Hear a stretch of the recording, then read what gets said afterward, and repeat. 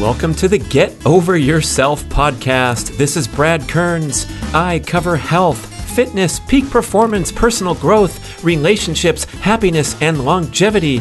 So slow down, take a deep breath, take a cold plunge, and pursue your competitive goals in all areas of life with great intensity and passion. But release your attachment to the outcome and learn to have fun along the way. That's the theme of the show. Here we go. 40% of the calories in a typical restaurant meal come from refined, high polyunsaturated vegetable oils. Horrors! How can that be, you ask, when you order a nice salad at an upscale restaurant? Because the oils that they're using for the salad dressing, the oils that they're cooking your salmon or your steak in or whatever meal you're consuming, uh, contribute so much of the caloric density to something like a salad that you're getting big doses of oils even when you're choosing a healthy entree at a reputed restaurant. Breather Show!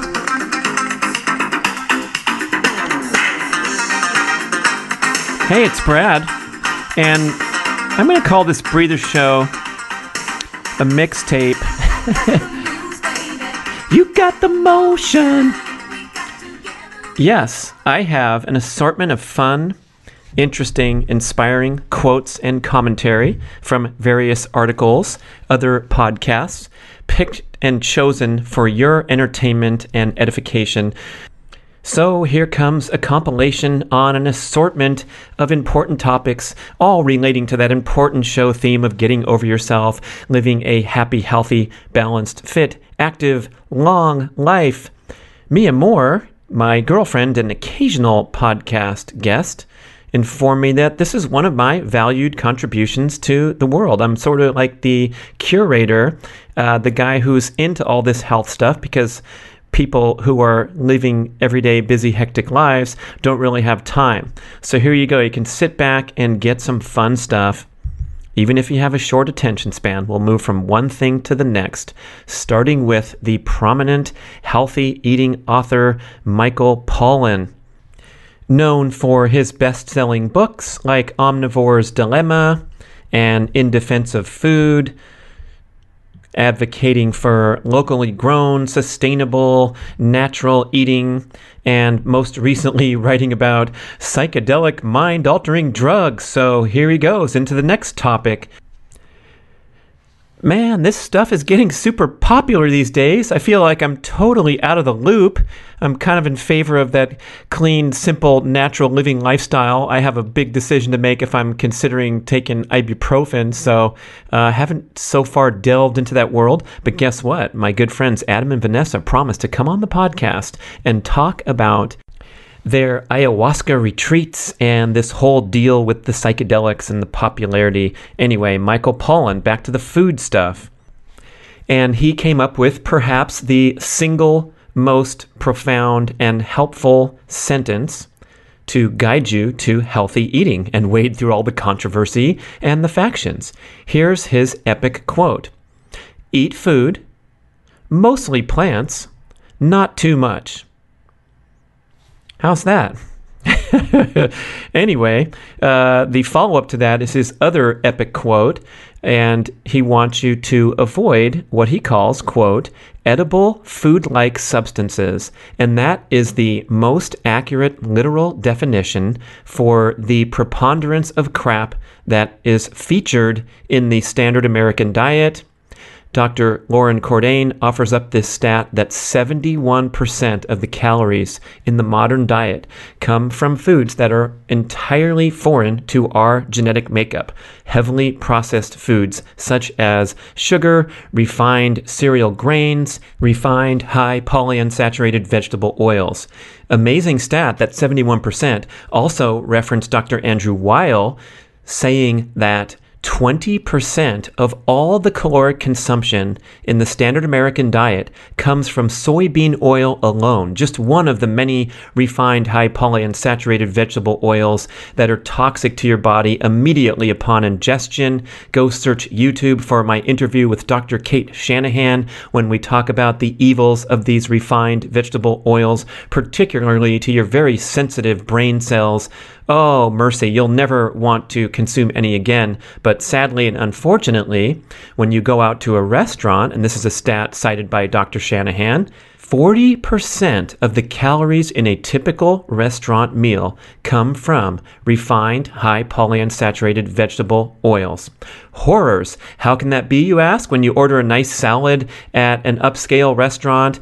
Because the oils that they're using for the salad dressing, the oils that they're cooking your salmon or your steak in, or whatever meal you're consuming, uh, contribute so much of the caloric density to something like a salad that you're getting big doses of oils, even when you're choosing a healthy entree at a reputed restaurant. I've gone to the trouble to ask the waitress or the manager at times what is in the salad dressing, and they call it olive oil, but they admit under questioning in the corner that it's a blend of vegetable oil and olive oil. This is all to save money, which is a shocking statistic because when you buy the lousy, heavily processed, uh, uncertain product quality olive oils at the big box store, you're spending 10 bucks, you buy a big giant jug of what's titled extra virgin olive oil, but we know that there's minimal regulation on these labels. And when you're looking at a product that's been imported from far away, even though it sounds romantic to get the olive oil from Italy, Greece, or Spain, you're very likely to do much, much better when you choose a domestically grown oil we're here in California with plenty of opportunities for that. Hopefully, you can find some at your local quality grocer, but look for a domestic oil.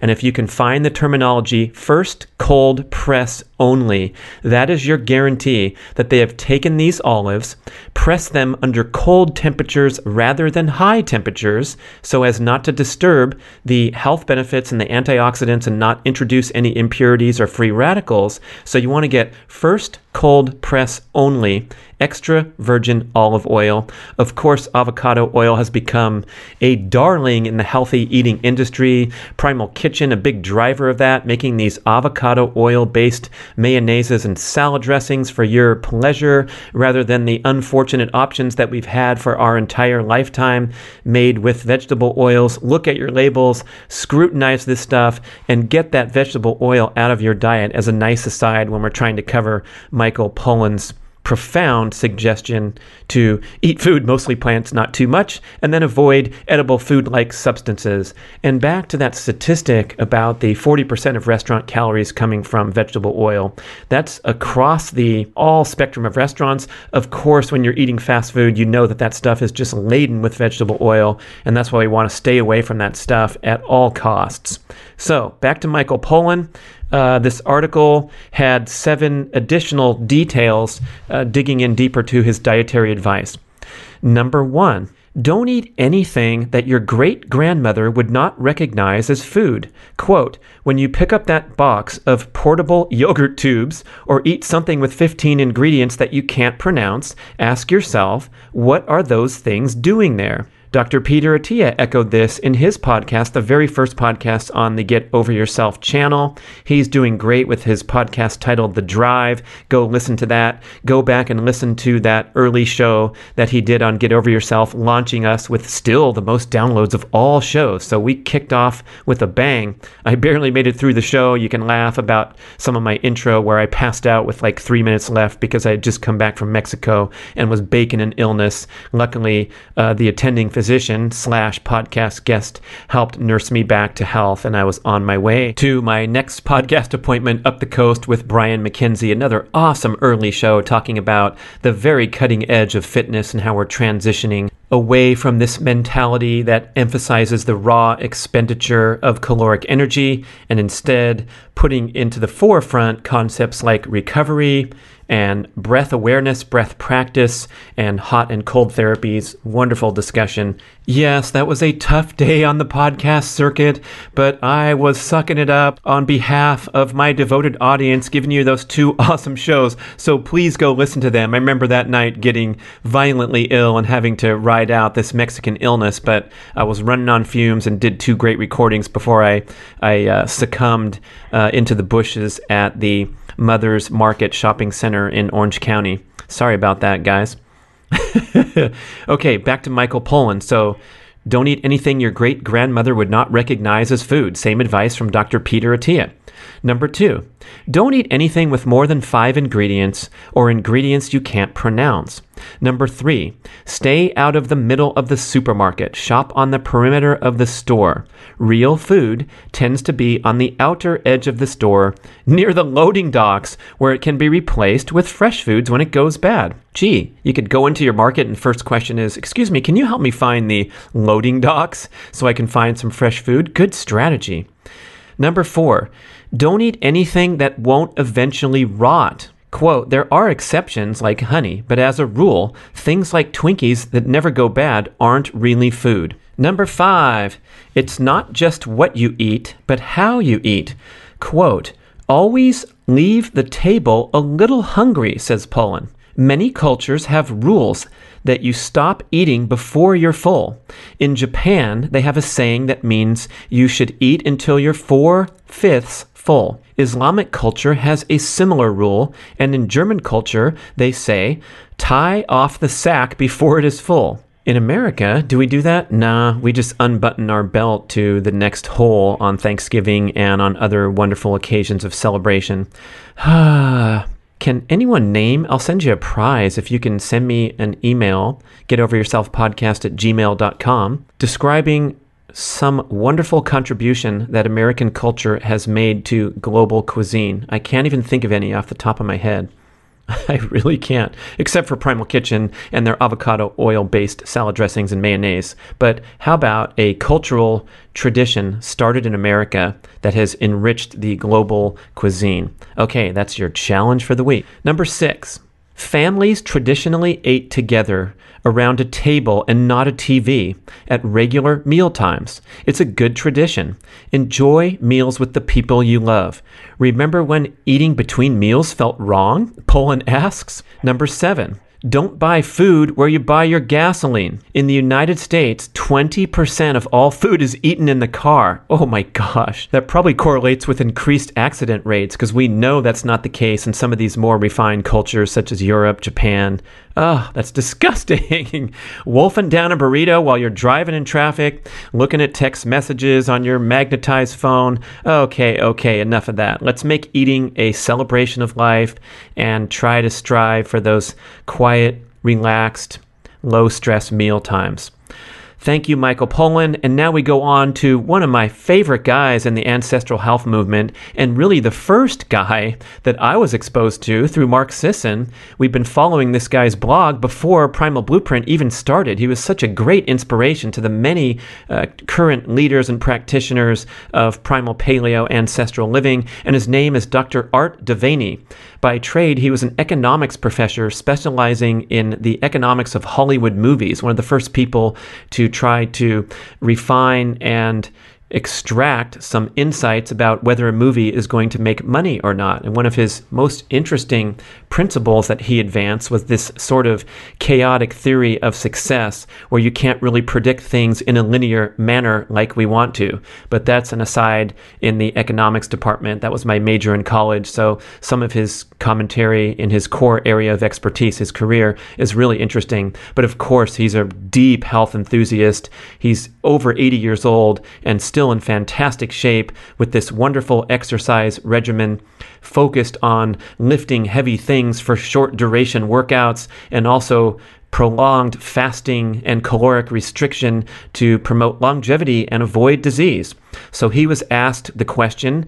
Uh, this is on an old time podcast from nine or 10 years ago that he was talking mostly about economic theory and also got into some uh, dietary discussion. And the question was how can diet impact our mood?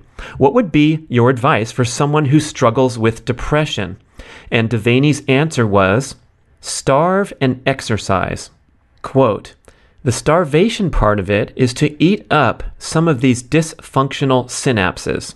As we know, when you are starving or when you are fasting, you upregulate the wonderful natural cellular detoxification process that is called autophagy and also the cancer prevention programmed cell death that is called apoptosis. So you upregulate autophagy and apoptosis in the body, and this keeps your cellular matter in good shape and avoids the proliferation of diseased or damaged cells. You're doing some house cleaning when you are fasting. That is why experts assert and confirm that when you're in a fasted state, your body is operating at the highest level of efficiency.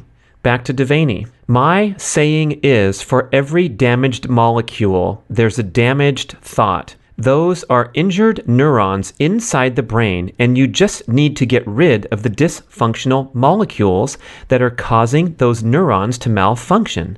Again, he's tying this back to the answer about how to handle, cure depression, anxiety, difficulties with brain function, and damaged neurons. Then, back to the quote heal the brain with neurotropic factors. Be outside formulate new thoughts and new patterns of behavior. When my first wife was declining from a host of other things, I'd take her walking as much as I could. I would tell her bad jokes, change her surroundings, the typical things people have to do. Being outside is enormously effective. There's stimuli you can't even relate to, but you perceive them. Your unconscious brain is what's going to heal you first. And right on to my favorite relationship columnist named Kris Gage on themedium.com. I want to do some more shows uh, talking about all her relationship insights, maybe talking them over with me and more. But right now, a quick tidbit talking about peak performance aspirations, like committing to promises I made to myself, is how you build self esteem. And here's her quote When it came to promises I made to myself, I talked a lot of shit, but I rarely did anything. You can't build self esteem if you keep breaking promises you've made to yourself. The action of keeping promises to you is what loving yourself looks like. This is how I started to trust myself again. Yeah, if you listen to enough podcasts, interviews with peak performers, this theme comes up over and over where they're making these commitments just to themselves you know who's really awesome for this kind of message is Seth Godin. He writes a wonderful daily blog post that's very, very short. It can range from a couple sentences to maximum of a couple few paragraphs. So please go sign up for his wonderful daily email newsletter, uh, which is just the repurposing of his blog post at sethgodin.com. I send so many emails to myself and take screenshots captivated by this simple, sensible, and very practical advice. And on the topic we're discussing, here's a message from one of Seth's posts. In order to make that forward leap, you need to trust yourself, to create space, to have the discipline to say no to distractions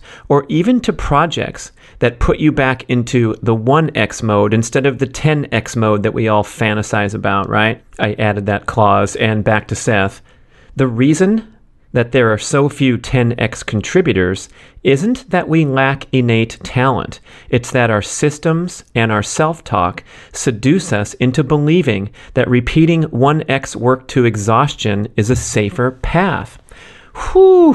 How about Ben Greenfield? Go listen to that wonderful show I did with the biohacking king of the universe and such a thoughtful and interesting guy. I'm greatly inspired every time I listen to him or talk with him because he's just pushing the outer edges of human peak performance and so curious and passionate about all areas of healthy living, athletic performance, and being happy and expressing gratitude for life on a daily basis. Anyway, here's Ben talking about Robert Greene's book, Laws of Human Nature. Keep in mind that your life is short, that it could end any day.